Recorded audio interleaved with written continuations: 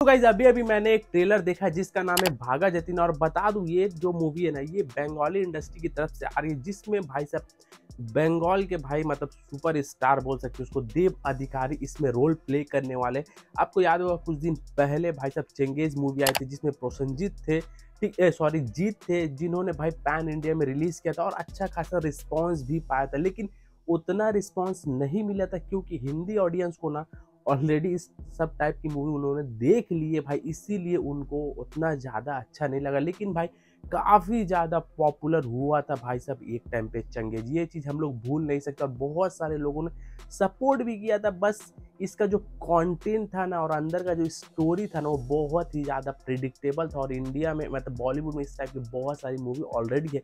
इसलिए भाई साहब नहीं चला। लेकिन ये जो बागा जतीन जो मूवी है ना, जिसमें देव है भाई, ये एक रियल बायोग्राफी मूवी है। अब मैं बता दूँ तुमको, बंगाल के मतलब टाइगर भी बोले जाते हैं भाई साहब, जिनका नाम है जतेंद्र नाथ मुखर्जी, जो भाई एक टाइम पे अपने मतलब टाइम के वो फ्रीडम फाइटर थे। किस तरीके से उन्होंने ब्रिटिश से लड़ा भाई साहब?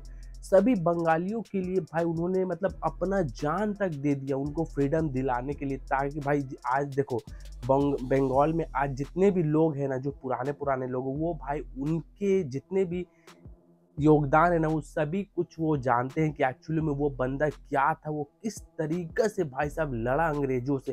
तो देखो ट्रेलर को मैंने देखा, काफ़ी ज़्यादा प्रॉमिसिंग लगा और कुछ कुछ सीन में को काफ़ी ज़्यादा इमोशन भी लगा कि भाई यहाँ पर मतलब कुछ चीज़ ऐसा डायरेक्टर मेकर्स ने बनाया है जो सच में पब्लिक को हर्ट कर सकती है और पब्लिक के दिल तक छू सकती है कि भाई एक्चुअली में कितना ज़्यादा जुल्म किया था अंग्रेज़ों ने और भाई किस तरीके से हमारे जो मतलब बंगाल के टाइगर बोल सकते हैं जतेंद्र नाथ मुखर्जी जी ने, किस तरीके से लड़ा और इसी के लिए उनका नाम जो था ना बागा जतिन हो गया। उनको बंगाल का टाइगर भी बोला जाता है। ट्रेलर काफ़ी ज़्यादा अच्छा है।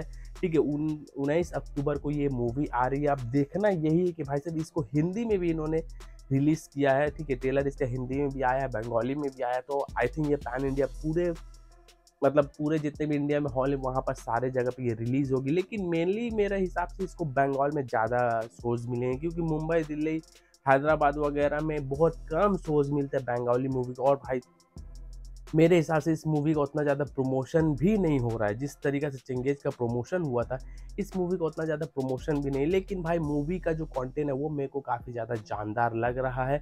हर एक बंदा की एक्टिंग भी काफ़ी ज़्यादा अच्छी लगी। आप देखते हैं कि जब उन्नीस अक्टूबर को मूवी आती है तो भाई मूवी कैसी होती है तो आपका क्या रहा है भागा जतिन टेलर को लेकिन कमेंट में ज़रूर बताना। चलो, आज के उठते हैं मिलते हैं नेक्स्ट वीडियो में। टेक